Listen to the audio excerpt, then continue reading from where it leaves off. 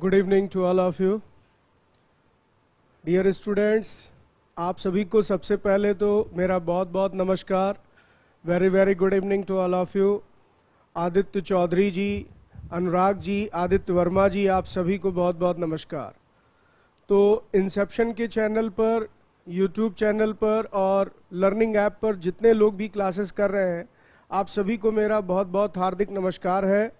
एक बार पुनः मैं आप सभी का बहुत बहुत हार्दिक स्वागत करता हूँ। और टॉपर आईएएस जी, जहाँ तक मुझे पता है, आप मेरे स्टूडेंट विकास जी हैं। तो विकास जी, आप भी बड़ी देर से प्रतीक्षा कर रहे थे। लेकिन अब ये प्रतीक्षा टू वे हो गई है। यानी आप भी प्रतीक्षा करते हैं कि सर कब आएँगे, क्लास लेंगे? और मैं भी वेटिंग में रहता हूँ कि कब मेरी क्लास लाइव हो पाएगी। मैं मार्कर लिए बोर्ड पर तैयार खड़ा हूँ। कुछ नहीं हुआ तो मैंने कहा, चलो एक दो लाइनें ही तब तक लिख लेता हूँ, जब तक आपकी क्लास लाइव हो। क्योंकि लाइव होना वो मेरे हाथ में है नहीं। हमारे कंप्यूटर महाशय जी जब परमिशन देते हैं, तभी मैं लाइव हो पाता हूँ। और कंप्यूटर महाशय जी जिसके कंट्रोल में है, वो मेरी टेक्निकल टीम है। तो टेक्निकल टीम वहाँ से जो जैसा निर्देश देती है कि, सर, अब आप लाइव हो गए, मैं क्लास स्टार्ट करता हूँ। तो सबसे पहले तो आप सभी का बहुत बहुत हार्दिक स्वागत करता हूँ। Very very good evening to all of you हाँ आदित्य जी कह रहे हैं कि और ये लैंडस्लाइड के साथ टॉपिक शुरू। बिल्कुल, बहुत सही बात की आपने। और योगेंद्र सिंह जी, बड़े दिन बाद आप जो आए हैं और वो भी आते ही पीडीएफ के पीछे पड़ गए। लक्ष्य जी वेरी गुड इवनिंग तो योगेंद्र जी, आपको बता दूँ मैं कि अब जो मेरी क्लासेस पिछले पूरे महीने से यहाँ मैं घर से चला रहा हूँ इसके लिए तो आप सब में से कोई भी पीडीएफ के लिए शिकायत कर ही नहीं सकता है, क्योंकि मैं सब कुछ लिख रहा हूँ। अगर आपको मैं पढ़ा रहा हूँ तो साथ में मेरी कोशिश होती कि आप मेरे साथ नोट्स बनाइए। पढ़ने और पढ़ाने की पूरी प्रक्रिया मैंने बदल दी है। और Sonu ji very good evening आपका एक बार पुनः बहुत बहुत स्वागत है। तो आप सभी लोगों का जो लाइव सेशन अटेंड कर रहे हैं, सबका मैं बहुत बहुत हार्दिक स्वागत करता हूँ। और मैं ये कह रहा था कि अब आपको पीडीएफ की रिक्वायरमेंट पढ़ने के लिए फ़िलहाल तात्कालिक रूप से नहीं है, क्योंकि आप जो कुछ भी पढ़ रहे हैं वो पूरा एज इट इज़ मैं नोट डाउन करवा रहा हूँ। पूरी नोट्स बनवाते हुए मैं क्लास को आगे कैरी ऑन करता हूँ। तो अभी के लिए आपका यही पीडीएफ है। और जब मेरी स्टूडियो से क्लासेस स्टार्ट हो जाएँगी, जैसे भारती सर ने स्टूडियो से क्लास लेना शुरू कर दिया है तो आपको दोबारा जैसे पहले पीडीएफ मिलता था, ऐसे ही पीडीएफ मिलना शुरू हो जाएगा। ठीक? हाँ अमन जी कह रहे हैं कि, सर, आज एकता और सभी की इच्छा पूरी हो गई लैंडस्लाइड के साथ. बिल्कुल, अमन जी, आप सही कह रहे हैं। बहुत दिनों से आप सब कह रहे थे कि, सर, लैंडस्लाइड रह गया है तो मैंने कहा, लैंडस्लाइडिंग करा ही देते हैं। तो चलिए, टॉपिक की शुरुआत करते हैं। हालाँकि एक पहला छोटा सा टॉपिक है, जो पिछली क्लास में बचा रह गया था, उस पर मैं डिस्कशन कर लेता और उसके बाद आज हम लोग नया अध्याय पढ़ेंगे। जैसा कि नोटिफिकेशन भी आप सबके पास पहुँचा होगा और उसमें लिखा होगा एक्सोजेनेटिक फोर्सेस यानी बहिर्जात बल। तो अब आज हम लोग एक नया अध्याय पढ़ेंगे, वो है बहिर्जात बल। लेकिन बहिर्जात बल क्या होता है, किस संदर्भ में उसकी उपयोगिता क्या महत्व है, ये किस तरह की भूआकृतिक प्रक्रिया है, इस सब पर विस्तार से बात होगी। लेकिन पहले जो पिछले टॉपिक में से थोड़ा बहुत बचा रह गया था पार्ट उस पर मैं उसको कंक्लूड कर दूँ, उसको पूरा कर दूँ, फिर आगे बढ़ूं। तो जैसा कि आपको मैं पिछली क्लासेस में पढ़ा रहा था, हम लोग जो मेन कंटेंट फॉलो कर रहे हैं, वो है पृथ्वी की गतिशीलता। हमारी पृथ्वी गतिशील है मूवमेंट ऑफ़ द अर्थ हमारी पृथ्वी गत्यात्मक है डायनेमिक है, और इसी कारण से इस पे तरह तरह के लैंड फीचर्स निर्मित होते रहते हैं तरह तरह की भू आकृतियों का निर्माण होता रहता है। जो पृथ्वी की जो एक गतिशीलता है ये धरती के स्वरूप को निरंतर बदलती है। यानी हमारा जो अर्थ सरफेस है, उसका नेचर लगातार, उसका स्वरूप लगातार बदलता रहता है। पर्वत, पहाड़, पठार, मैदान, ये सब भू आकृतियाँ निर्मित होती रहती हैं। लेकिन इसका निर्माण का जो क्रम है, या जो इनके निर्माण की प्रक्रिया है, वो ऐसा नहीं है कि वो दिन ब दिन हो रही है। ये लाखों वर्षों में, हज़ारों वर्षों में प्रक्रिया चलती है। तो एक बहुत लंबे समय अंतराल में इन सारी प्रक्रियाओं का विकास देखने को मिलता है। और इस क्रम में आप ये पढ़ रहे थे कि पृथ्वी के भूपटल पर अर्थ सरफेस पर अर्थ क्रस्ट पर जो ये परिवर्तन देखने को मिलते हैं, जो ये भू आकृतियों का निर्माण देखने को मिलता है, इसके पीछे दो बल काम करते हैं। एक को कहते हैं एंडोजेनेटिक फोर्सेस और एक को कहते हैं एक्सोजेनेटिक फोर्सेस तो अभी तक जो टॉपिक हम लोगों का चल रहा था, वो था एंडोजेनेटिक फोर्सेस यानी अंतर्जात बल। अंतर्जात बल को ही हम एक अन्य नाम से भी जानते हैं, जिसको पृथ्वी की हलचलें भी कह सकते हैं, यानी अर्थ मूवमेंट की बात हो रही थी।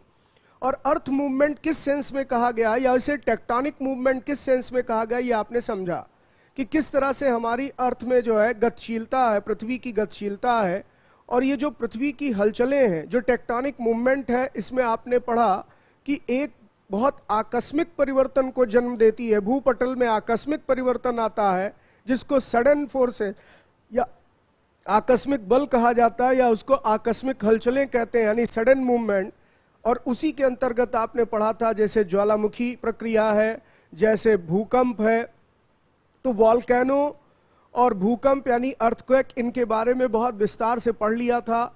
उसी क्रम में मैंने एक पॉइंट ये भी जोड़ा था कि भूस्खलन भी एक सडन मूवमेंट का उदाहरण हो सकता है।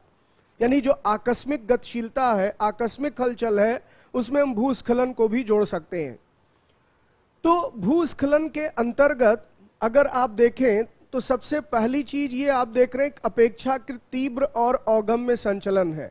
यानी ये relatively rapid and perceptible movement है। इसका मतलब ये हुआ कि जो हमारे रॉक स्ट्रक्चर हैं, जो सेल संरचनाएँ हैं, जो धरती पर मौजूद शैल पदार्थ हैं, जब वो एक प्लेस से दूसरे प्लेस की ओर, यानी डिस्प्लेस होते हैं, विस्थापित होते हैं तो उस प्रक्रिया को ही कहा जाता है भूस्खलन। यानी सेल का खिसकाव या सेल का ढाल के सहारे सरकना स्लिपिंग या जिसको आप ये कह लीजिए कि स्लाइड्स हो जाना, यानी वहाँ से विस्थापित हो जाना यह प्रक्रिया कहलाती भूस्खलन। तो भूस्खलन को भौगोलिक रूप में अगर आप परिभाषित करना चाहें तो आप ये कह सकते हैं कि भूस्खलन अपेक्षाकृत तीव्र एवं में संचलन है। दीज आर यानी landslide are relatively rapid and perceptible movements तो ये रॉक्स का मूवमेंट है, ये रॉक्स का डिस्प्लेसमेंट है, एक जगह से खिसक कर, दूसरी जगह की ओर जब कोई सेल संस्तर पहुँच जाता है तो उसे हम भूस्खलन कहते हैं। अब भूस्खलन भारत के संदर्भ में अगर आप देखें तो जैसे ज़्यादातर ये हिमालय क्षेत्र में देखने को मिलता और हिमालय क्षेत्र में ये घटनाएँ ज़्यादा क्यों होती हैं? क्योंकि ये टेक्टोनिक रूप से बहुत एक्टिव एरिया है, यानी विवर्तनिक दृष्टिकोण से हिमालय बहुत, आप कह सकते हैं, विवर्तनिक सक्रिय क्षेत्र है। तो इस कारण से जहाँ पर भी टेक्टोनिक एक्टिविटी होंगी, जहाँ पर भी विवर्तनिक क्रियाएँ होंगी, वहाँ पर भूस्खलन की संभावना भी ज़्यादा होगी। तो तीव्र ढाल के सहारे जो ये, ये खासकर एक बात और ध्यान रखिएगा कि इसमें जो स्लाइड मटेरियल होते हैं यानी स्खलित होने वाले जो पदार्थ होते हैं रॉक मटेरियल होते हैं ज़्यादातर ड्राई होते हैं सूखे यानी शुष्क पदार्थों का जब स्खलन एक स्थान से दूसरे स्थान की ओर होता है तो इस तरह की प्रक्रिया को हम कहते हैं भूस्खलन। हाँ भास्कर जी आपको भी बहुत बहुत नमस्कार। तो सबसे पहले मैं चाहूँगा कि आप भूस्खलन पर एक प्रॉपर नोटिंग कर लें और फिर इसके बाद हम लोग नए अध्याय की शुरुआत करें। तो इस पर मैं नोट्स लिखवा दे रहा हूँ। इसको पूरा आप लिख लीजिएगा।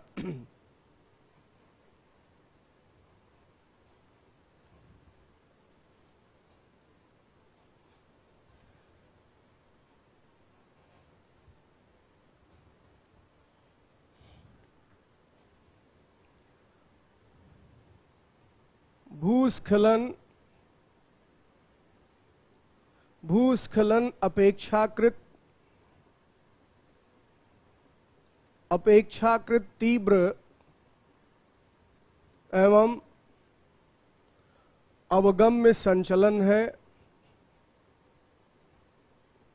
अवगम्य संचलन है।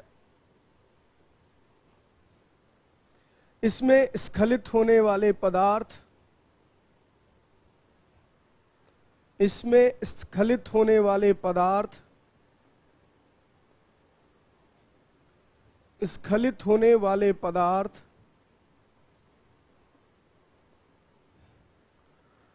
अपेक्षाकृत शुष्क होते हैं।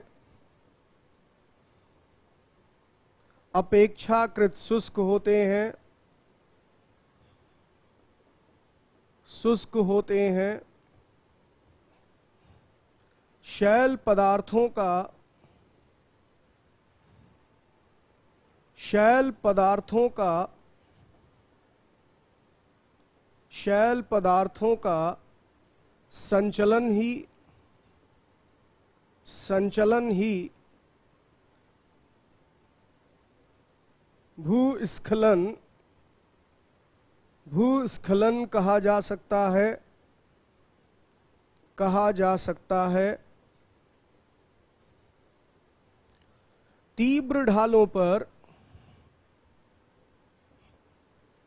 तीव्र ढालों पर, तीव्र ढालों पर शैल शैल का स्खलन, शैल का स्खलन बहुत तीव्र बहुत तीव्र एम विध्वंसक होता है। एम विध्वंसक होता है। विध्वंसक होता है।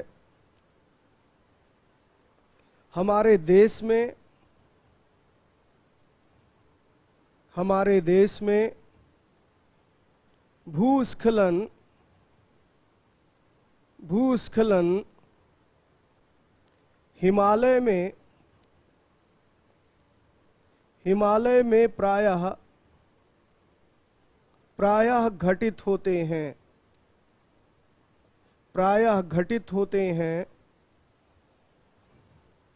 इसके अनेक कारण हैं। इसके अनेक कारण हैं। अनेक कारण हैं। जैसे जैसे हिमालय हिमालय विवर्तनिक दृष्टिकोण से,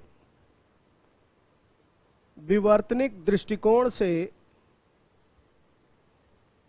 विवर्तनिक दृष्टिकोण से सक्रिय है। से सक्रिय है। तो सबसे पहले ये लाइन लिख लीजिएगा कि भूस्खलन, अपेक्षाकृत तीव्र और अगम्य संचलन है। और फिर इसके बाद अवगम्य संचलन का मतलब यहाँ पर यह होता है कि एक तरीके से डिस्प्लेसमेंट हो रहा है रॉक का, यानी एक स्थान से एक पूरा सेल खंड टूट करके दूसरी तरफ़ जा रहा है।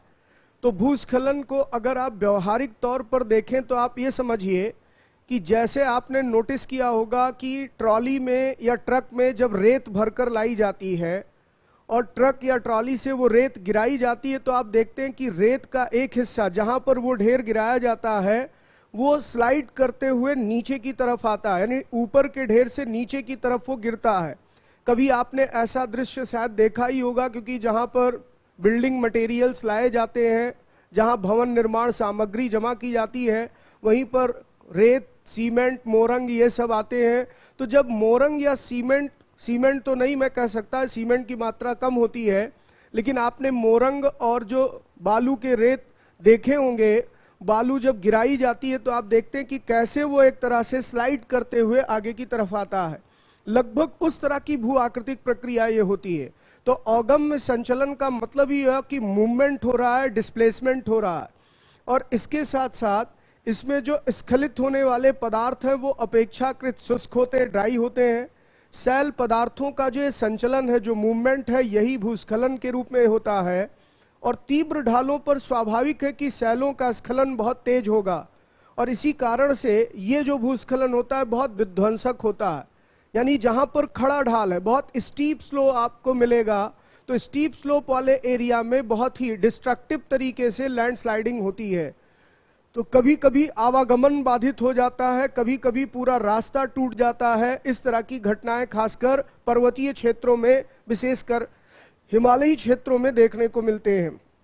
हमारे देश में भूस्खलन की घटनाएँ प्रायः अगर देखा जाए तो हिमालयी क्षेत्र में इसलिए होते हैं क्योंकि ये विवर्तनिक दृष्टिकोण से काफ़ी एक्टिव एरिया है और विवर्तनिक दृष्टिकोण से सक्रिय कहने का मतलब आज भी यहाँ पर भू आकृतिक प्रक्रियाएँ होती रहती हैं।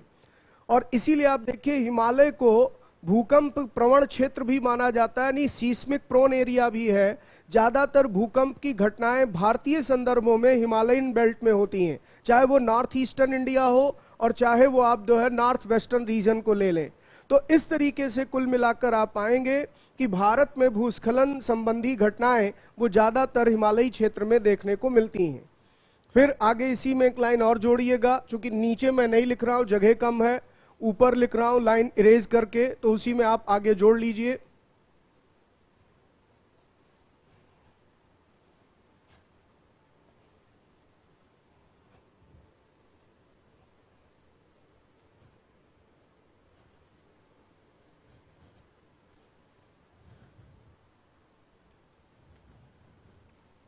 ये अधिकांशतः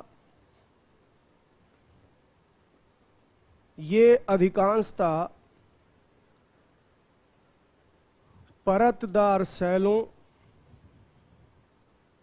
परतदार शैलों एवं असंगठित असंगठित एवं अर्ध संगठित सॉरी। एवं अर्ध संगठित अर्ध संगठित पदार्थों से बना हुआ है। पदार्थों से बना हुआ है।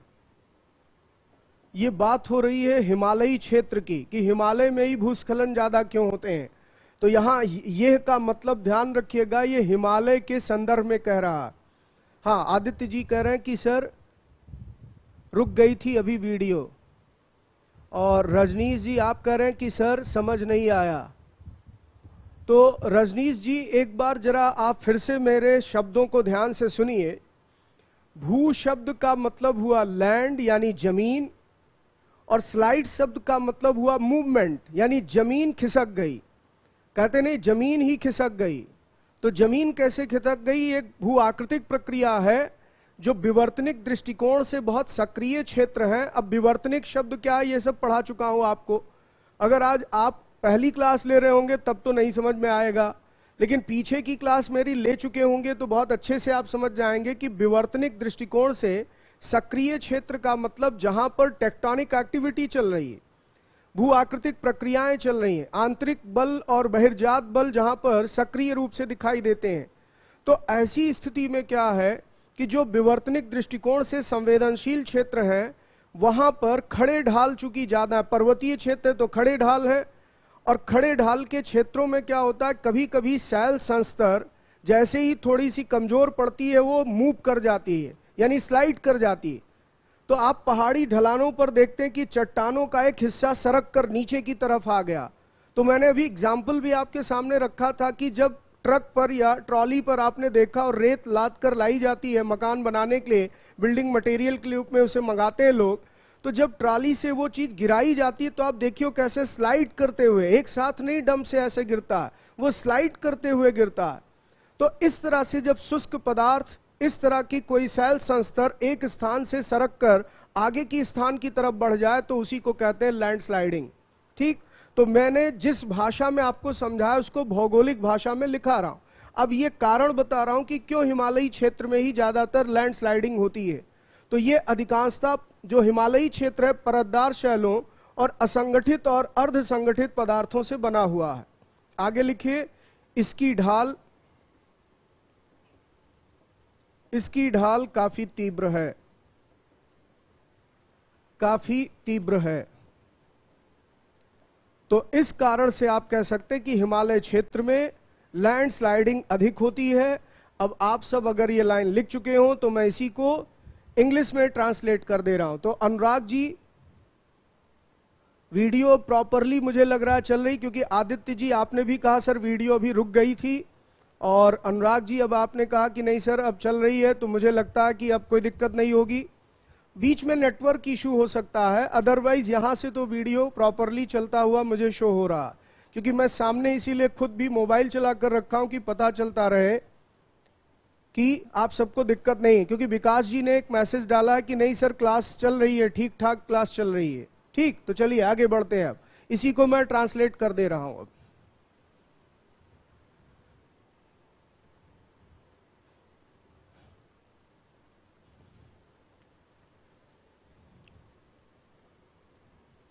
Landslides are relatively relatively rapid and rapid and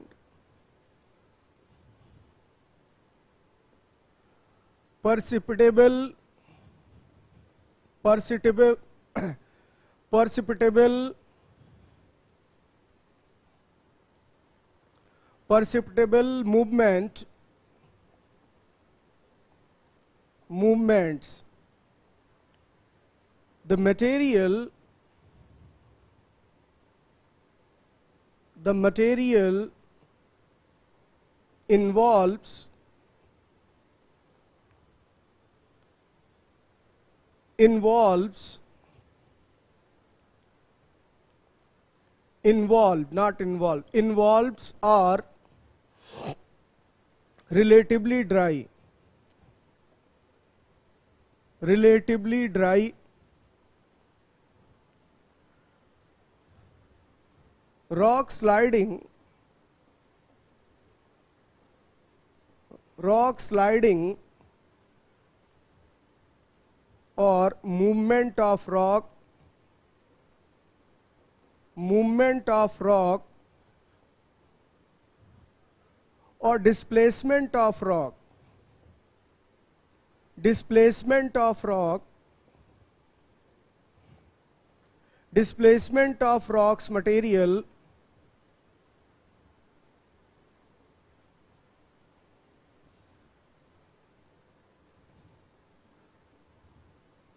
are known as known as landslide landslides. Over steep slopes. Over steep slopes. Steep slopes. Rock sliding. Rock sliding is very fast. Is very fast and destructive. And destructive. Destructive. In our country in our country in our country landslides landslides occur very frequently occur very frequently very frequently very frequently in the Himalayas in the Himalayas in the Himalayas. Very frequently in the Himalayas. तो यहाँ तक आपने लिख लिया होगा। तो फिर से एक बार ध्यान दीजिए क्या लिखा आपने। ये कह रहा है कि relatively rapid and perceptible movements जो होते हैं तो परसिपिटेबल मूवमेंट्स को ही यहाँ पर अवगम्य संचलन को ही यहाँ पर भूस्खलन कहा जाता है। तो परसिटेबल मूवमेंट्स का एक सबसे अच्छा उदाहरण मैंने आपको दिया कि जब रेत का ढेर कहीं पर लगाया जाता है तो जब वो रेत आगे की तरफ़ सरकती है तो उसको कहते हैं अवगम्य संचलन। ये उसका एक उदाहरण है। तो ऐसे ही जब सेल संस्तर इस तरह से आगे की तरफ़ सरके तो उसी को कहते हैं अवगम्य संचलन। और ये बहुत तीव्र होता है, इसी को कहते हैं भूस्खलन होना। The materials involve are relatively dry ये जो तीव्र गति से होता है, उसकी वजह यही है कि ये शुष्क पदार्थ होते हैं जनरली जिसके कारण यहाँ पर स्खलित होते हैं। हाँ लक्ष्य जी कह रहे हैं, प्लीज़ सर, एक बार और समझा दो। सर, मेरा नेट इशू हो गया था तो लक्ष्य जी, मैं बिल्कुल दोबारा बता रहा हूँ, फिर से ध्यान दीजिए। मैंने कहा, ये अपेक्षाकृत तीव्र होता, तेज़ी से कोई चीज़ आगे की तरफ़ जो है, सरकता हुआ है। क्या सरकता हुआ? शैल पदार्थ। जब शैल पदार्थ या रॉक मटेरियल्स एक तरफ़ से डिस्प्लेस होकर आगे की तरफ़ आता है, और परसिटेबल मूवमेंट्स का मतलब ये हुआ कि ये डिस्प्लेस हो रहा है आगे की तरफ़ बढ़ता हुआ आ रहा है वहाँ से धसक कर या जिसको कहिए सरक कर आगे की तरफ़ बढ़ता हुआ आ रहा। तो मैं बार बार उदाहरण रख रहा हूँ जिससे प्रैक्टिकली आप समझ सकें, रेत का एक ढेर है और वो रेत अचानक आगे की तरफ़ जो है गिर रही है। तो ऐसे स्थिति में यहाँ पर बहुत तीव्र तरीके से अवगम्य संचलन होता है, जिसे कहते हैं भूस्खलन। तो भूस्खलन का मतलब हुआ कि भूपरपटी में जो शैल पदार्थ है या जो हमारा धरातल है, जब वो यहाँ संचलन करे मूवमेंट करे तो उसी मूवमेंट को कहा जाता है landslide the materials involve are relatively dry ये कह रहा है कि जो ये शैल पदार्थ होते हैं, जिनमें ये स्खलन की प्रक्रिया होती है, ये अपेक्षाकृत शुष्क होते हैं और शुष्क होने के कारण ही ये रैपिड रूप से मूव करते हैं. दूसरी तरफ़ रॉक स्लाइडिंग और मूवमेंट्स ऑफ़ रॉक और डिस्प्लेसमेंट ऑफ़ रॉक्स यानी एक स्थान से सैल पदार्थों का सरक कर दूसरे स्थान की ओर बढ़ना यह कहलाता है भूस्खलन। इसके साथ साथ यहाँ पर यह कह रहा है कि जो ओवर स्टीप स्लोप्स यानी जहाँ तीव्र ढाल होता है, खड़ा ढाल होता है, तेज ढाल होता है, ज़्यादा ढाल होता है तो अधिक ढाल वाले क्षेत्रों में ये रॉक स्लाइडिंग बहुत तेज होता है, तीव्र गति से होता है और इसी कारण से कभी कभी बहुत डिस्ट्रक्टिव होता है। हिमालयी क्षेत्र में अक्सर आप पढ़ेंगे भूस्खलन के कारण पूरा एक चट्टान खंड टूटकर वो पूरा रास्ता ही ब्लॉक कर देता है। अवरोध के रूप में ये कहीं ना कहीं खड़ा हो जाता है। तो इस तरीके से यहाँ पर आप पाएँगे कि पूरी तरह से खड़े ढाल वाले क्षेत्रों में, तीव्र ढाल वाले क्षेत्रों में ये बहुत तीव्र गति से स्खलित होते हैं और ये कहीं ना कहीं विध्वंसक होते हैं। हाँ अमन यादव जी आपने भी कहा कि सर क्लास सही चल रही। बहुत बहुत धन्यवाद आपका। In our country, landslide occurs very frequently in the Himalaya तो एक पॉइंट यह भी हो गया कि भारत में भूस्खलन की घटनाएँ प्रायः किस क्षेत्र में अधिक होती हैं? हिमालय रीजन में। अब क्यों होती इसके कारण भी लिख लीजिए।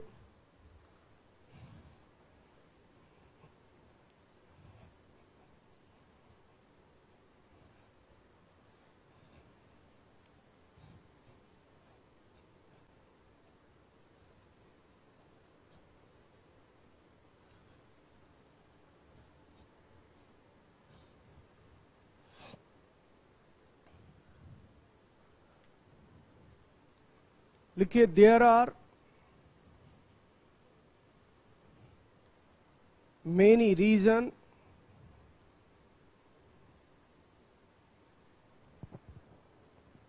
there are many reasons for this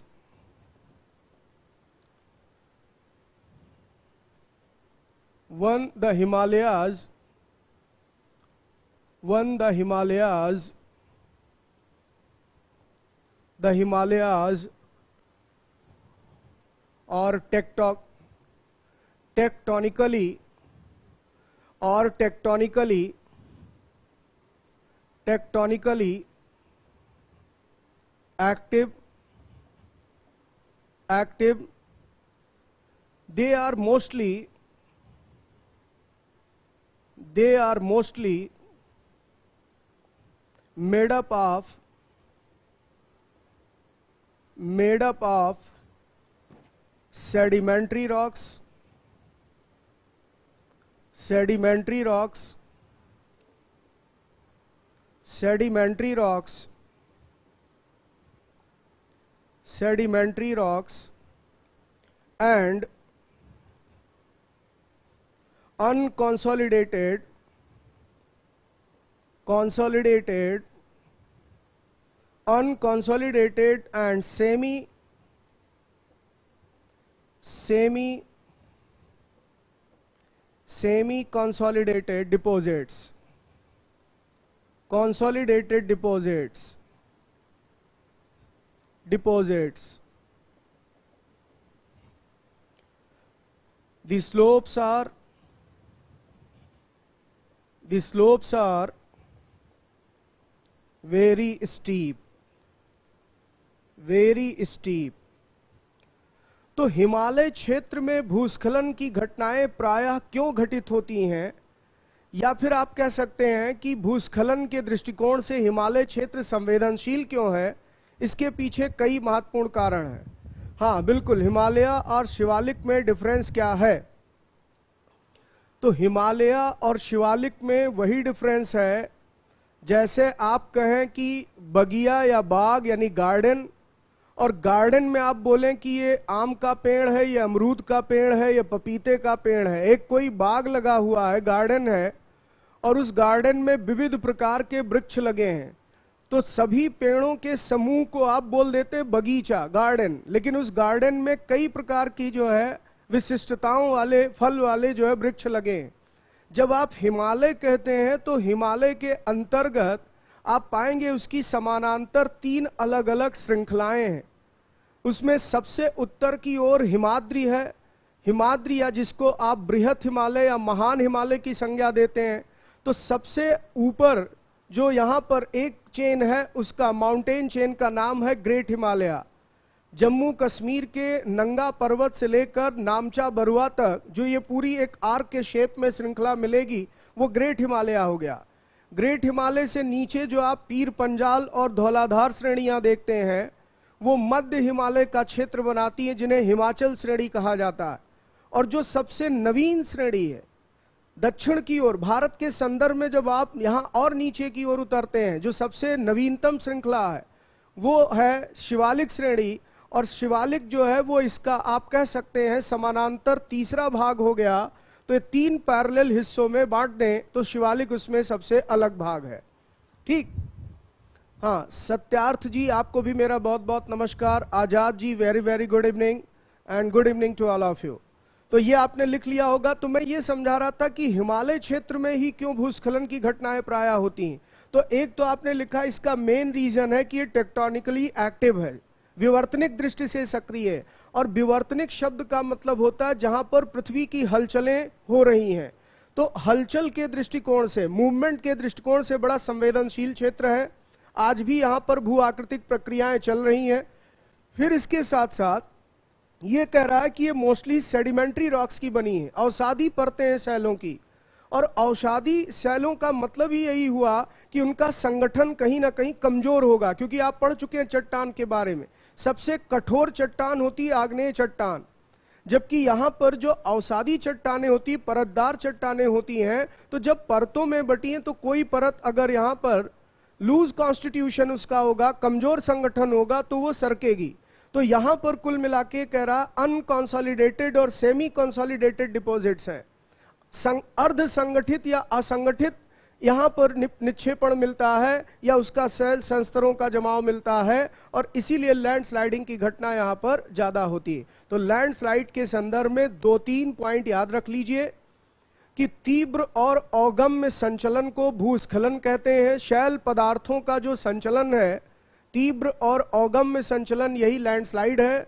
दूसरी बात यह ध्यान रखिएगा, तीव्र ढाल वाले क्षेत्रों में घटनाएँ अधिक होती, बहुत तीव्र होती हैं और विध्वंसक होती हैं।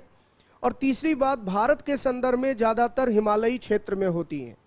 ठीक तो अब चलिए आगे बढ़ते हैं और फिर आ जाते हैं कि जो भूकंप वाला टॉपिक आप पढ़ रहे थे, उसमें मैंने आपसे कहा था कि कुछ पॉइंट रह गया था, उसे भी आज आप लिख लें। तो एकता जी, आपने रिक्वेस्ट की थी कि, सर लैंडस्लाइड भी बता दीजिए, लेकिन बड़ा इंटरेस्टिंग है कि आज जब मैं लैंडस्लाइड पढ़ा रहा हूँ तो आज ही आप क्लास शायद अटेंड नहीं कर रही तो एकता जी क्लास में आज एबसेंट हैं, और फिर आज उनकी रिक्वेस्ट पर ही मैंने लैंडस्लाइड की क्लास रख दी। कि आज कम से कम जो बचा हुआ पार्ट रह गया, वो कंप्लीट कर दे, तब नया चैप्टर स्टार्ट करें तो पता चला आज एकता जी ही गोल हो गई। तो चलिए, फ़िलहाल वो आप वीडियो के माध्यम से क्लास देख लीजिएगा, लेकिन आप सभी की रिक्वेस्ट पर आज मैंने ये टॉपिक भी कंप्लीट कर दिया। अब इसमें एक और टॉपिक आप जोड़ लीजिएगा, रह गया था, वो है सुनामी। सुनामी।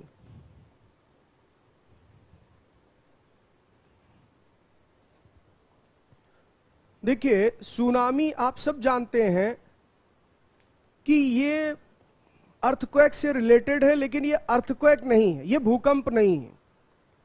ये बात अलग है, भूकंप जनित है। यानी भूकंप के कारण सुनामी की प्रक्रिया जन्म लेती है। अंत सागरीय क्षेत्रों में, ओशन बेसिन में जब अर्थक्वेक आता है, यानी समुद्री भागों में जब भूकंप आता है तो सुनामी की प्रक्रिया वो जन्म लेती है। तो ये एक तरीके से सबमरीन अर्थक्वेक आप कह सकते हैं। सबमरीन अर्थक्वेक का मतलब अंत सागरीय भूकंप है। लेकिन एक चीज़ ध्यान रखिएगा भूकंप नहीं है। हाँ अनुराग जी कह रहे हैं हाँ सर, एकता आज एबसेंट है शायद। बिल्कुल, मैं देख रहा हूँ अनुराग जी, क्योंकि उनका यहाँ पर कोई भी मैसेज शो नहीं हो रहा, यानी कि आज क्लियरली वो एबसेंट है। तो मैटर नहीं करता है, क्योंकि मैं ऐसा नहीं केवल पर्टिकुलर एक स्टूडेंट के लिए पढ़ा रहा हूँ, आप सबके लिए भी ये है। तो आप कोई दिल पर मत लीजिएगा कि सर ने सिर्फ़ एक को ध्यान में रखकर पढ़ा। आप सबके लिए ये टॉपिक था। लेकिन हाँ उनकी रिक्वेस्ट थी कि हाँ सर, उसे भी करा दीजिएगा। हाँ सुमित कुमार जी, आपको भी वेरी वेरी गुड इवनिंग तो सुनामी, मैंने कहा कि ये भूकंप नहीं है, ये समुद्री लहरें हैं, ओशनिक वेव्स हैं, लेकिन ये लहरें तब उत्पन्न होती हैं जब अंता सागरीय भागों में भूकंप आता है। तो अंता सागरीय भू सागरीय भागों में जब भूकंप जन्म लेता है, भूकंपीय तरंगे पहुँचती हैं तो उसके परिणाम स्वरूप जो सागरीय जल है, वो विस्थापित होता है। लहरों के रूप में गतिशील हो जाता है। इसी को हम कहते हैं सुनामी। सुनामी एक जापानी शब्द है, जापानीज वर्ड है, जिसका मतलब होता है सब मरीन अर्थक्वैक यानी अंता सागरीय भूकंप। तो एक चीज़ बहुत स्पष्ट तौर पर ध्यान रखिए, कुछ किताबों में भले ही लिखा हो कि यह भी एक भूकंप का प्रकार है ये भूकंप नहीं है, ये भूकंप जनित है। तो भूकंप जनित का मतलब कि भूकंप के कारण जो है, इसकी उत्पत्ति होती है। तो यहाँ पर इसके बारे में कुछ चीज़ें आपको लिखा देता हूँ, जो आपको भूकंप पढ़ाते समय रह गया था तो आज इस पर भी नोट्स बना लीजिए, और यहाँ पर लिखिएगा, सुनामी जापानी भाषा का शब्द है शब्द है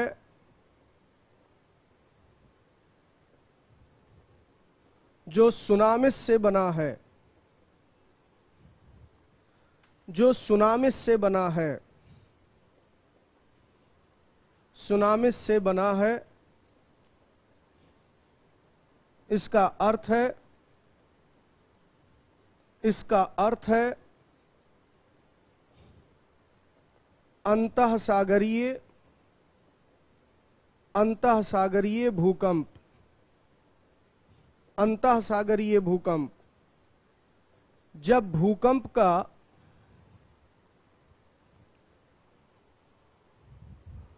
हाँ शुभम तिवारी जी, सर थोड़ा इंग्लिश में भी एक्सप्लेन कर दीजिए प्लीज़ तो शुभम तिवारी जी, या तो क्लास में आप लेट आए हैं, और या फिर आप नोटिस नहीं कर रहे हैं कि मैं एक एक लाइन को इंग्लिश में ट्रांसलेट ज़रूर कर रहा हूँ।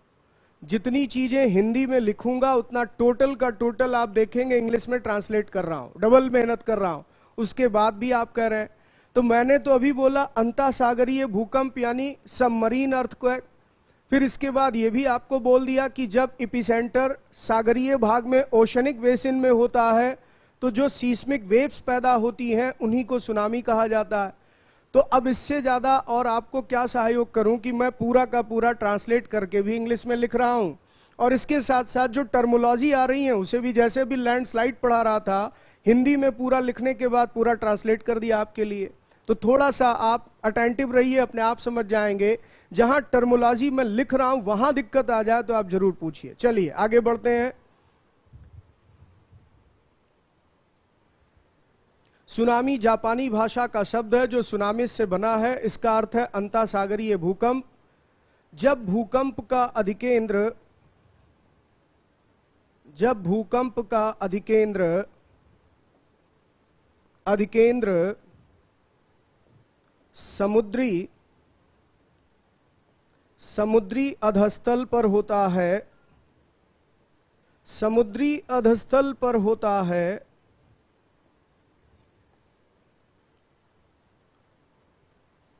और भूकंप की तीव्रता, भूकंप की तीव्रता अधिक होती है, अधिक होती है,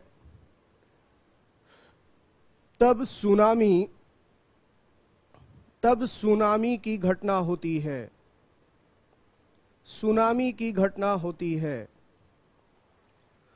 तो इस तरीके से कुल मिलाकर के अगर आप यहाँ पर ध्यान देंगे तो बहुत क्लियरली ये क्या कह रहा है कि जब इपिसेंटर जब अधिकेंद्र ओशन बेसिन में हो, यानी यहाँ पर एक तरीके से आप कह सकते हैं कि ओशनिक वाटर में, समुद्री जल में below the oceanic water basin समुद्री जल स्तर या समुद्री भागों में जब आंतरिक क्षेत्रों में, अधस्थल पर इसका एपिसेंटर होता है तो वहाँ से सुनामी की उत्पत्ति होती है। और खासकर जो अर्थक्वेक ट्रिमोर्स होते हैं, वो तेज हो, बहुत ही उसकी इंटेंसिटी अधिक हो, तब इसका प्रभाव देखने को मिलता है। क्योंकि इसमें पूरा ओशनिक वाटर एक तरीके से एक एरिया का पर्टिकुलर एरिया का डिस्प्लेस होता है। तो इसके परिणाम स्वरूप जो है, सुनामी की घटना होती है या सुनामी की उत्पत्ति होती है। तो इसी को मैं ट्रांसलेट कर दे रहा हूँ, इसे लिख लीजिएगा।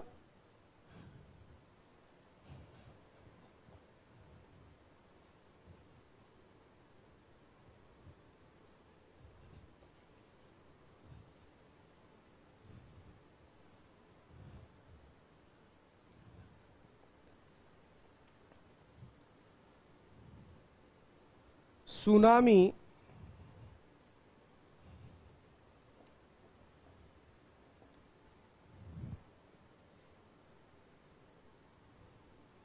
is derived from is derived from Japanese Japanese word Japanese word tsunamis Japanese word tsunamis, tsunamis, which means, which means submarine, submarine earthquake, submarine earthquake. The effect of tsunami the effect of tsunami the effect of tsunami would occur only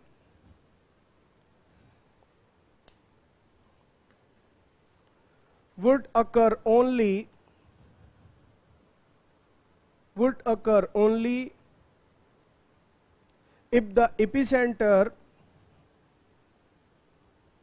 if the epicenter of the earthquake of the earthquake is below is below ocean water oceanic water is below oceanic water and and the magnitude and the magnitude and the magnitude is sufficient high. Is sufficient high. Is sufficient high. हाँ good evening good evening कॉमेडी जी good evening आपने नाम क्या रखा है? आपका नाम क्या नहीं पता, लेकिन चलिए आपके अभिवादन को मैं स्वीकार करता हूँ। और शुभम जी, मुझे लगता है अब आप सेटिस्फाई होंगे। लेकिन कोई बात नहीं, शुभम जी, मैं पहले भी आपको सारी चीज़ें ट्रांसलेट करके दे रहा हूँ और कोशिश यही रहेगी कि आपको मीडियम की वजह से प्रॉब्लम ना आए।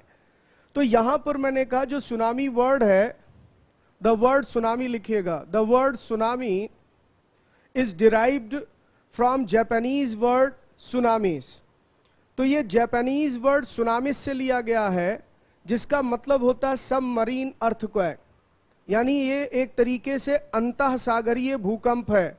जापानी भाषा के शब्द सुनामिस से बना है, जिसका मतलब अंत सागरीय भूकंप। अब अंत सागरीय भूकंप या सबमरीन अर्थक्वेक का मतलब क्या हुआ? कि जब यहाँ पर ओशनिक वाटर में, समुद्री जल स्तर में नीचे से, समुद्री भागों से, उसके नीचे बेसिन भागों से जब अर्थक्वेक का इपिसेंटर हो, यानी भूकंप का अधिकेंद्र हो तो वहाँ से ध्यान रखिएगा, सुनामी की उत्पत्ति होती है।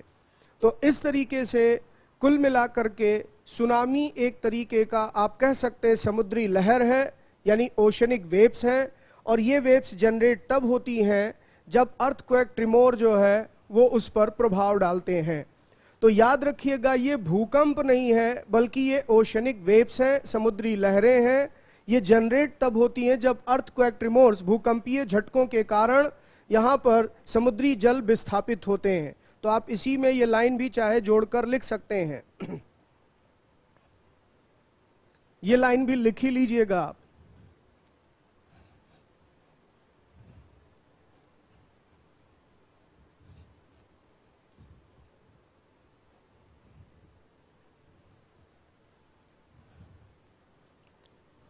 अंत सागरीय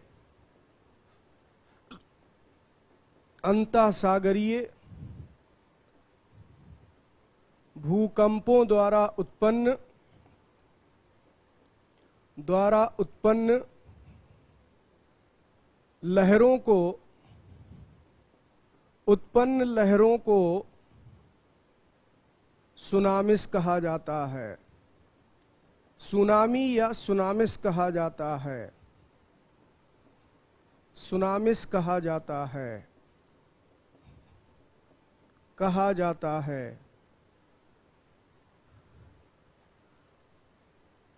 Tsunamis tsunamis are waves are waves generated by generated by the submarine marine the submarine submarine earthquake earthquake. यानी tsunami is not itself earthquake ये अपने आप में स्वयं भूकंप नहीं है लेकिन ये भूकंप जनित है। तो ये लाइन याद रखिएगा कि सुनामी भूकंप नहीं है, सुनामी भूकंप जनित है। यानी tsunami is not earthquake in itself but it is generated through the submarine earthquake यानी जब भूकंप का अधिकेंद्र सागर तल हो, सागरीय भागों में भूकंप का अधिकेंद्र हो तो वो जल को विस्थापित करने की कोशिश करता है वाटर को ओशनिक वाटर को जब वो डिस्प्लेस करने की कोशिश करता है तो उससे ये लहरें उत्पन्न होती हैं और इन लहरों को ही फिर सुनामी कहा जाता है। तो उम्मीद करता हूँ यह समझ में आ गया होगा। अब यहाँ पर भूकंप के संदर्भ में मैंने आपको बताया था, दो और पॉइंट है, उसे भी लिख लीजिए।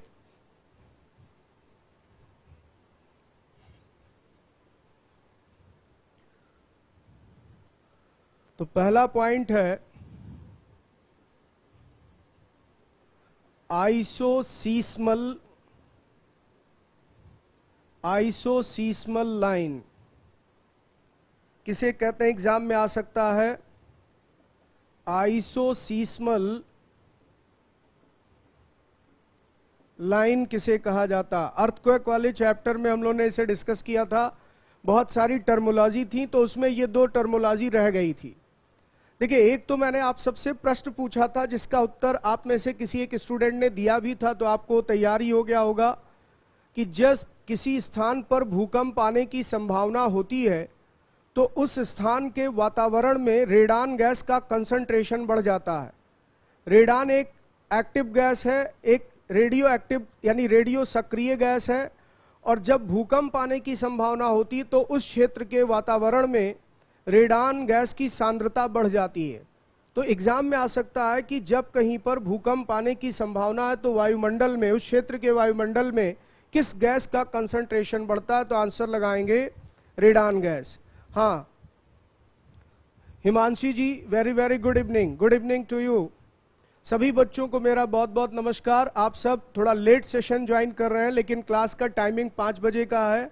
मैं ऑलरेडी आज क्लास लेट स्टार्ट कर पाया था। साढ़े पाँच बजे क्लास स्टार्ट हुई थी।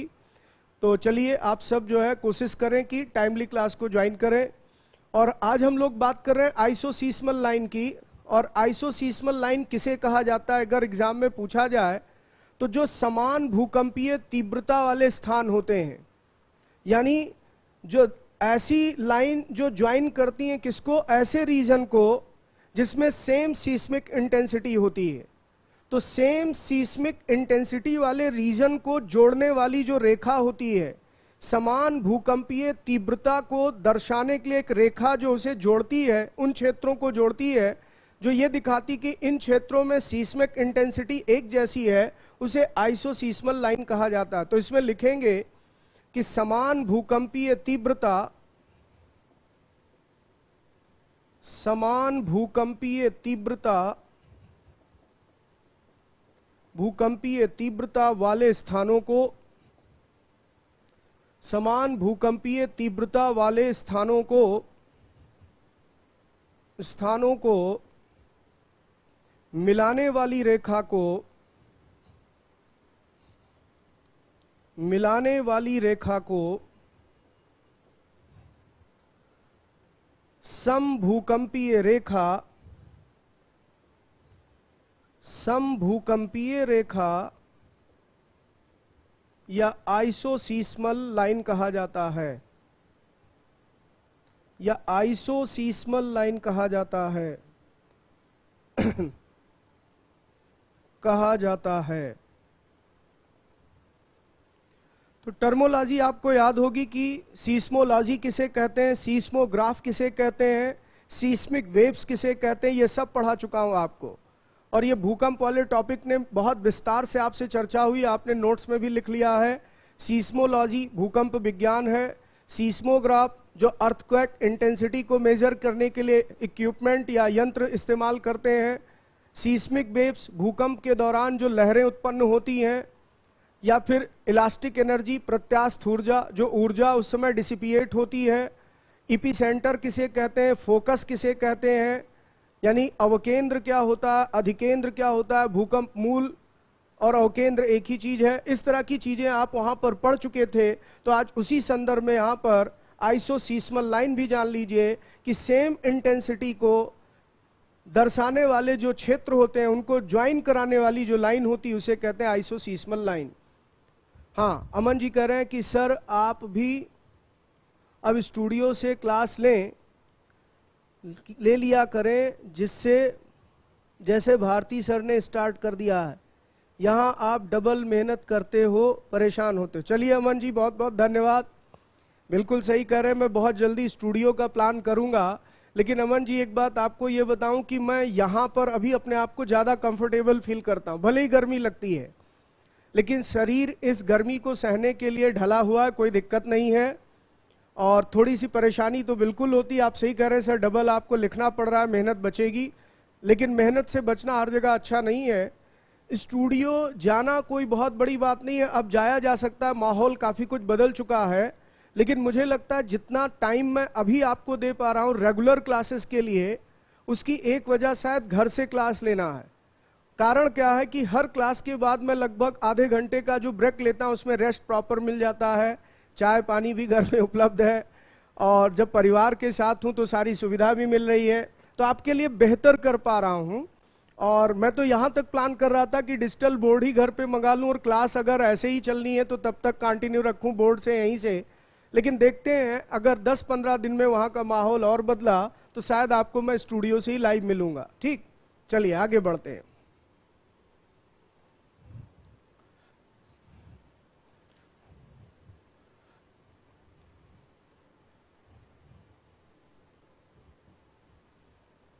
इसी को आप इंग्लिश में भी लिख लें। The lines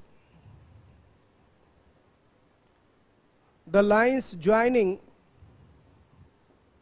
the lines joining the regions joinings the regions of same seismic intensity same seismic intensity intensity are called are called isoseismal line are called isoseismal line isoseismal line तो ये समझ गए अब दूसरा आते हैं इसके बाद लेते हैं वो है homoseismal homoseismal line homoseismal line. अब ये क्या है? इसके बारे में भी एग्ज़ाम में आ सकता है कि होमोसीस्मल लाइन किसे कहते हैं।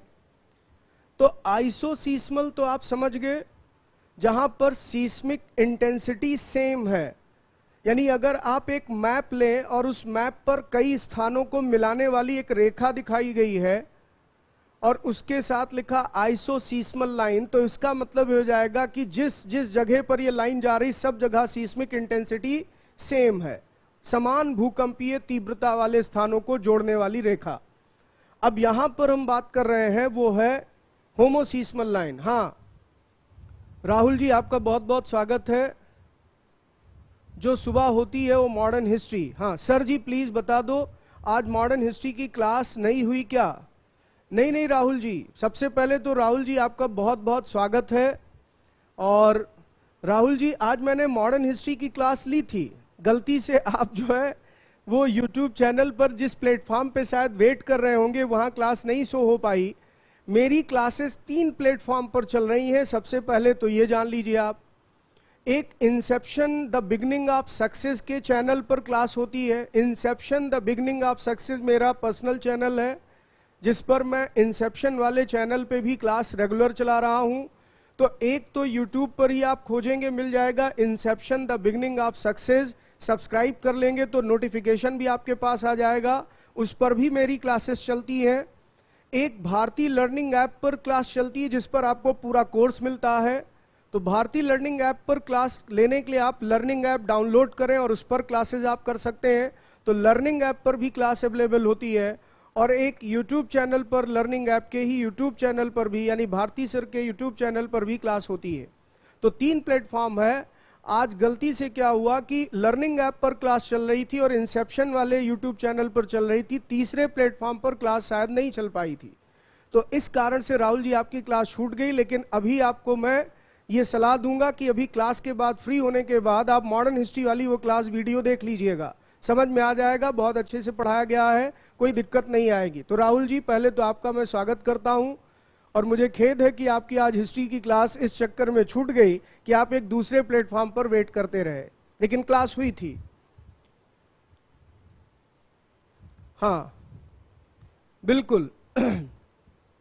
तो अनुराग जी, आप कह रहे हैं कि घर पे सही है, सर, क्योंकि घर पे बीच बीच में चाय भी पिलाते रहो, स्टूडियो में चाय नहीं मिलेगी। ठीक है, बिल्कुल अनुराग जी, नहीं, स्टूडियो में भी चाय मिल सकती है। और इधर विकास जी, आपने भी कुछ कहा है यहाँ पर। इस प्रकार अच्छा है, क्योंकि एक बार आप समझा देते हैं और लिखा देते हैं, उस पर क्लियरिटी काफ़ी होती है। चलिए, बहुत अच्छी। थोड़ा समय लगेगा। बिल्कुल सही विकास जी कह रहे हैं कि समय लगेगा, लेकिन सर, पढ़ने का आनंद इसी में आ रहा है। क्योंकि इसमें आप चीज़ों को समझते हुए आगे बढ़ रहे हैं। हाँ राहुल जी कुछ और कह रहे हैं, सर, अब नहीं मिल रही क्लास, क्या करूँ? नहीं, मिलेगी राहुल जी। क्लास डेफिनेटली मिलेगी राहुल जी। मैं बैठा हूँ आपके लिए। मैंने कहा, आप inception the beginning of success channel subscribe कर लीजिए। उस पर जाइए, उस पर क्लास पड़ी हुई है। मॉडर्न हिस्ट्री की आज की क्लास आप डालिएगा। आपको मॉडर्न हिस्ट्री की क्लास आज वाली मिल जाएगी। ठीक? कोई दिक्कत नहीं। क्लास जब नहीं मिलेगी तो आप मेरा पर्सनल नंबर रखिए। आप मुझसे पर्सनल नंबर पे व्हाट्सएप पे चैटिंग भी कर सकते हैं डोंट वरी चलिए, आगे बढ़ते हैं। तो होमोसीस्मल लाइन के बारे में आप जान लें कि एक ही समय पर जो आने वाले भूकंपीय क्षेत्र होते हैं, यानी ऐसे क्षेत्र जहाँ एक ही टाइम पर भूकंप आने की संभावना होती, उन क्षेत्रों को प्रदर्शित करने वाली रेखा को कहते हैं होमोसीस्मल लाइन तो इसकी डेफिनेशन ऐसे लिखेंगे, एक ही समय पर एक ही समय पर आने वाले, एक ही समय पर आने वाले भूकंपीय क्षेत्रों को, भूकंपीय क्षेत्रों को मिलाने वाली मिलाने वाली रेखा को, मिलाने वाली रेखा को होमोसीस्मल लाइन कहते हैं। होमोसीस्मल लाइन कहते हैं। होमोसीस्मल लाइन कहते हैं। यानी the lines joining, the lines joining, इसको मैं इरेज करके लिखता हूँ, नहीं, आप आइसोसीस्मल लिख लेंगे। ऊपर मैं इंग्लिश में लिख दे रहा हूँ, the lines joining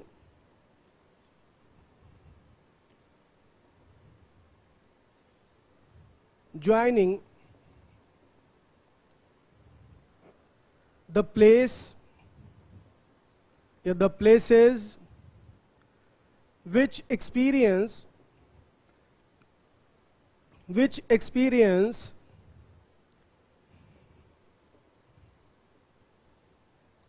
the earthquake tremors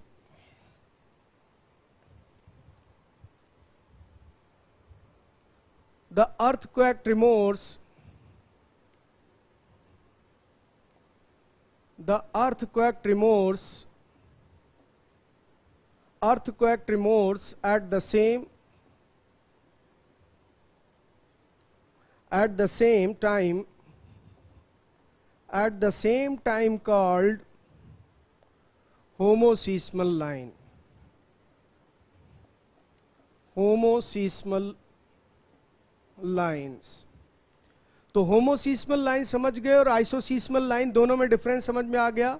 तो अर्थक्वेक चैप्टर में जो मैंने आपको टर्मोलॉजी लिखवाई थी, वहाँ पर ये दोनों टर्म्स भी आप जोड़ लीजिएगा।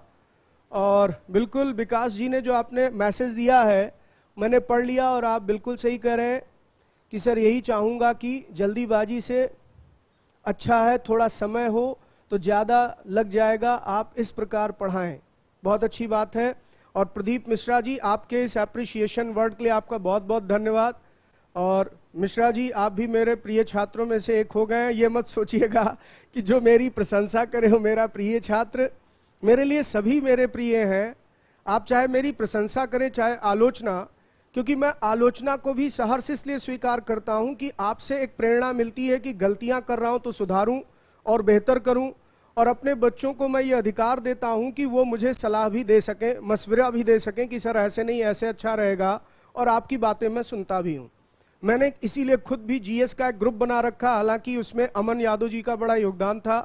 अमन जी ने ही सजेस्ट किया कि, सर, आप ग्रुप बना लीजिए और उसके बाद उसको आगे लेकर कैरी करिए। जिससे तो ग्रुप बनाने में आदित्य चौधरी जी या आदित्य वर्मा जी, एक तो उनका सहयोग था और दूसरा मेरे कुछ स्टूडेंट ने मिलकर बनाया और दूसरी तरफ़ अमन यादव जी ने भी यहाँ पर एक टेलीग्राम चैनल भी क्रिएट कर दिया तो मैं सभी बच्चों से लगभग जुड़ने की कोशिश करता हूँ।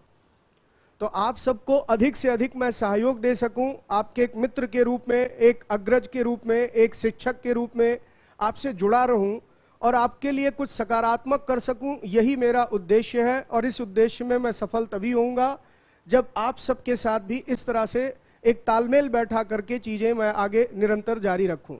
क्योंकि मैं पढ़ाई लिखाई को, तैयारी को हमेशा एक सतत प्रक्रिया मानता हूँ। यानी कॉन्टिन्यूस प्रोसेस है, ये जल्दीबाजी में कभी नहीं हो सकती है। आप जब अपने भविष्य का निर्माण कर रहे होते हैं तो समय देना पड़ता है। किसी अच्छी इमारत या भवन को बनने में आप देखते हैं, वर्षों लग जाता है। तो एक इमारत बुलंद कर रहे हैं आप। आपकी नींव तैयार हो रही और यही आपके भविष्य की दिशा निर्धारित करेगी। तो जल्दीबाजी नहीं करनी है। बहुत आराम से और प्यार से चीज़ें पढ़ेंगे और तैयारी इस तरह से निरंतर करते रहें। जैसे पॉलिटी में आप देखिए, संविधान में मैंने पचासों लेक्चर पढ़ा दिए। पॉलिटी में भी लगभग आप देखिए पच्चीस तीस लेक्चर हो गए। तो चाहे जितने लेक्चर लगेंगे, लेकिन तैयारी आपको बेहतर तरीके से ही कराएँगे हर विषय में। तो यहाँ पर कुल मिलाकर आइसोसीस्मल लाइन और होमोसीस्मल लाइन का डिफरेंस समझ गए। बाकी बहुत सारी टर्मोलॉजी आपने पढ़ रखी उससे जोड़कर इसको तैयार रखना। यानी कल को एग्ज़ाम में आ जाए, सीस्मोलॉजी किसे कहते हैं? सीस्मोग्राफ किसे कहते हैं? फोकस किसे कहा जाता है? इपीसेंटर किसे कहा जाता है? इलास्टिक एनर्जी किसे कहा जाता है? सीस्मिक वेव्स किसे कहा जाता है? Seismo lines isoseismo isoseismal lines किसे कहते हैं? होमोसीस्मल लाइंस किसे कहते हैं? तो सब का उत्तर देने की स्थिति में आप रहेंगे। तो आपका ये टॉपिक कंप्लीट हुआ। अब मैं नए चैप्टर की शुरुआत कर रहा हूँ। जिस चैप्टर के लिए आज मैंने क्लास रखी थी, लेकिन हालाँकि वो चैप्टर आज शुरू ही हो पाएगा।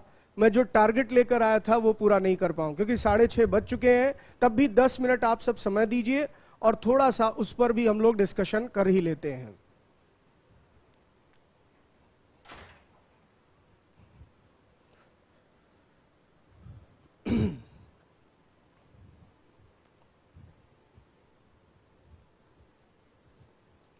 तो अब नए चैप्टर की हेडिंग डालिएगा आप लोग। हेडिंग लिखिए एक्सोजेनेटिक फोर्सेस। Exogenetic forces. यानी बहिर्जात बल। बहिर्जात बल। बहिर्जात बल। Exogenetic forces. देखिए एक्सोजेनेटिक फोर्सेस के अंतर्गत सबसे पहले तो आप लोग ये जान लीजिए कि इसमें कौन कौन सी प्रक्रियाएँ आप पढ़ेंगे। उसके बारे में थोड़ा सा स्पष्ट कर देता हूँ।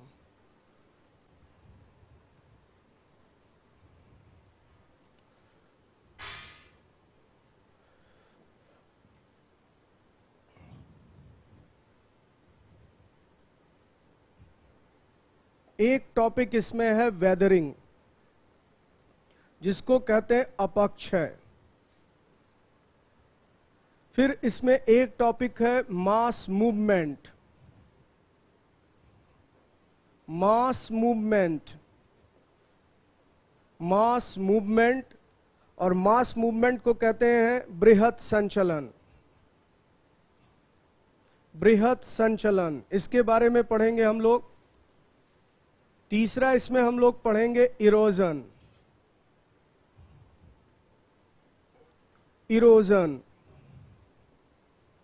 यानी इसे कहते हैं अपर्दन, और फिर इसके बाद डिपोजिशन डिपोजिशन यानी इसे कहते हैं निक्षेपण निक्षेपण।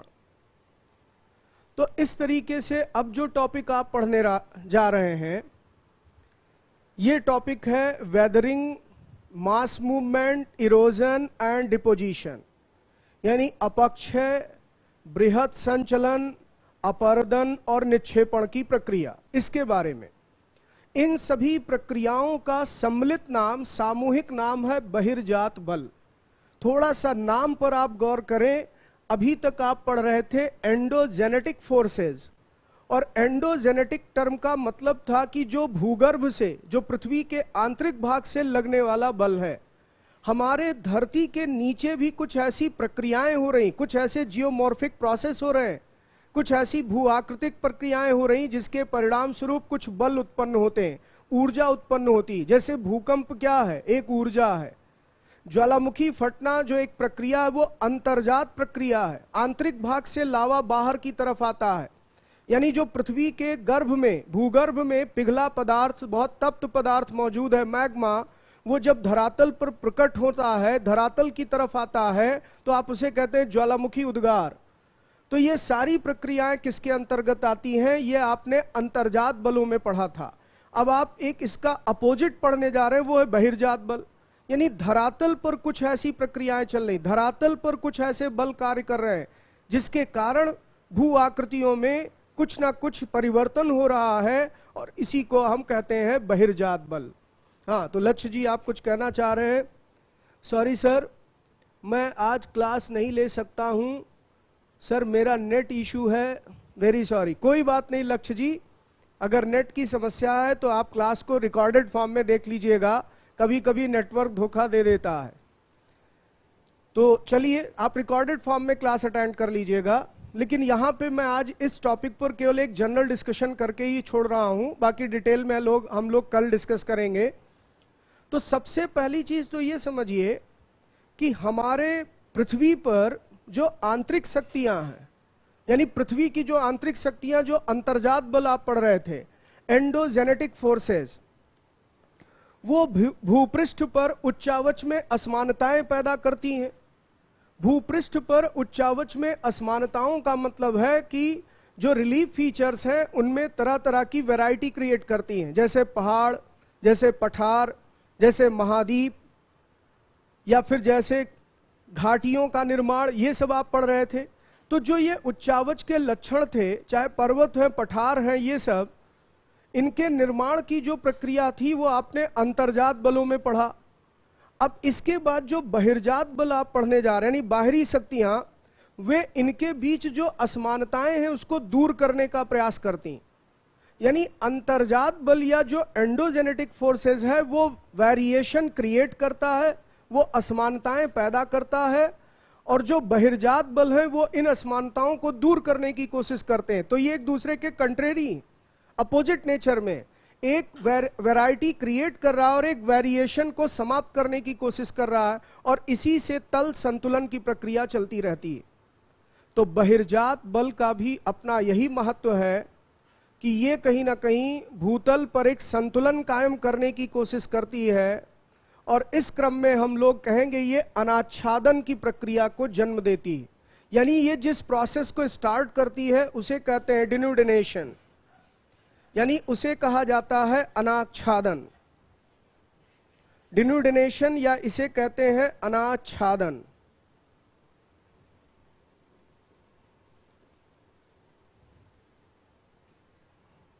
डिन्यूडेशन या अनाच्छादन। अनाच्छादन। तो डिन्यूडेशन या अनाच्छादन क्या है? एक ऐसी प्रक्रिया जो धरातल पर मौजूद भू आकृतियों की असमानताओं को दूर करने की कोशिश करें। कैसे? तो इसके अंतर्गत आप अपक्षय, अपर्दन, निक्षेपण जैसी प्रक्रियाओं को पढ़ेंगे। अपक्षय का मतलब यहाँ पर है कि अपने उसी स्थान पर जो शैल पदार्थ है, उनमें टूट फूट की प्रक्रिया होती है। तो ये काफ़ी हद तक एक स्टैटिक प्रोसेस है, स्थैतिक प्रक्रिया जबकि अपर्दन एक डायनेमिक प्रोसेस है, क्योंकि जो टूट फूट होती है, जो पदार्थ टूट फूट जाते, विखंडित होते हैं उनमें डिसइंटीग्रेशन होता है डिकम्पोजिशन होता है उन्हीं पदार्थों को एक जगह से दूसरी जगह पर लेकर ये जाते हैं, उसे अपर्दन कहते हैं। और फिर जहाँ उसको डिपॉजिट करते हैं, जहाँ डंप करते हैं, जमा करते हैं, उसे डिपोजिशन कहते हैं। इसी क्रम में आप चीज़ों को समझेंगे कि किस तरह से डिनोडिनेशन का प्रोसेस चलता है। सॉरी मैं टर्म थोड़ा सा गलत बोल रहा हूँ। डिन्यूडेशन होगा। डिन्यूडिनेशन नहीं डिन्यूडेशन तो डिन्यूडेशन यानी हिंदी में कहते हैं अनाच्छादन। तो अनाच्छादन की जो प्रक्रिया है, उसके तहत भूतल संतुलन के क्रम को एक तरीके से शुरू करती है, जिसमें अपक्षय, अपर्दन और निक्षेपण सबसे प्रमुख प्रक्रियाएँ हैं। तो अगली क्लास में मैं आपको यही पढ़ाने वाला हूँ कि ये अनाच्छादन क्या है, ये बहिर्जात बल क्या है, और ये सारी प्रक्रियाएँ किस तरह से होती हैं, इनका क्या प्रभाव पड़ता है। लेकिन अगर इन बहिर्जात बलों की बात की जाए तो नाम से स्पष्ट है, धरातल पर लगने वाला बल, धरातल पर उत्पन्न होने वाला बल। यानी आप कह सकते हैं कि पृथ्वी की सतह पर जो उत्पन्न होने वाले बल होते हैं, वो होते हैं बहिर्जात बल। लैंड सरफेस पर जो फोर्सेस एराइज होती हैं। और ये कैसे कार्य करते हैं तो इनके कुछ एजेंट हैं। यानी अभिकर्ता हैं, जो इन बलों के जन्म के कारक हैं या जो अपक्षय अपर्दन और निक्षेपण का कार्य करते हैं। जैसे उदाहरण के लिए जल है, या पवन है, ठीक है, या हिमानी है, हिम है, यानी चाहे आइस हो, चाहे विंड हो, चाहे वाटर हो, ये सब कहीं ना कहीं इन प्रक्रियाओं को जन्म देते हैं। जैसे कोई शैल पदार्थ टूटकर विखंडित हो गया तो पानी के द्वारा बहकर कहीं और पहुँच गया या हवा के द्वारा उड़कर कहीं और चला गया, इस तरह की सारी प्रक्रियाएँ आप इसके अंतर्गत पढ़ेंगे। तो आज हालाँकि मैं टारगेट लेकर आया था कि इसका इंट्रोडक्शन पढ़ाऊँगा, लेकिन जो पिछली क्लास में बचे हुए टॉपिक रह गए थे, उसे कवर कराने में समय लग गया। कल आपका जो टॉपिक होगा, वो बहिर्जात बल होगा और इसी पर हम लोग पढ़ेंगे। तो उम्मीद करता हूँ कि कल कोशिश करूँ मैं इसको कवर कर लूँ। अगर कल समाप्त हो गया तो अच्छी बात, नहीं, अगले वीक में एक दो क्लासेस में आपका टॉपिक कंप्लीट हो जाएगा। तो फ़िज़िकल ज्योग्राफी का एक बड़ा पोर्शन आपका लगभग खत्म होने वाला है। इसके बाद जियोमोर्फोलॉजी बचेगी। तो मैं नया चैप्टर शुरू करूँगा जियोमोर्फोलॉजी लेकिन कल पहले हम लोग एक बार बहिर्जात बल का अध्ययन कर लेंगे तब। तो आज टाइम ओवर हो चुका है। कल हम लोग फिर मिलेंगे। राहुल जी, एक बार आपको फिर स्पष्ट कर दूँ कि जब भी आप किसी प्लेटफॉर्म पर क्लास के लिए वेट कर रहे नहीं है तो एक दूसरा चैनल भी सब्सक्राइब करके रखिए। Inception the beginning of success जिस पर मेरी क्लासेस चलती हैं तो आपको इन दोनों में से किसी ना किसी प्लेटफॉर्म पर क्लासेस मिल जाया करेंगी। चलिए, आप सभी को बहुत बहुत धन्यवाद। अभी सात बजे इकोनॉमिक्स की क्लास में मैं फिर मिलूँगा, आपके लिए लाइव सेशन होगा। लगभग सवा सात बजे क्लास स्टार्ट करूँगा इकोनॉमिक्स की। तब तक के लिए आप सबके पास टी ब्रेक है, चाय पीजिए थोड़ा सा रिलैक्स होइए और मुझे भी रिलैक्स होने दीजिए। फिर हम लोग सवा सात बजे इकोनॉमिक्स पढ़ते हैं। धन्यवाद।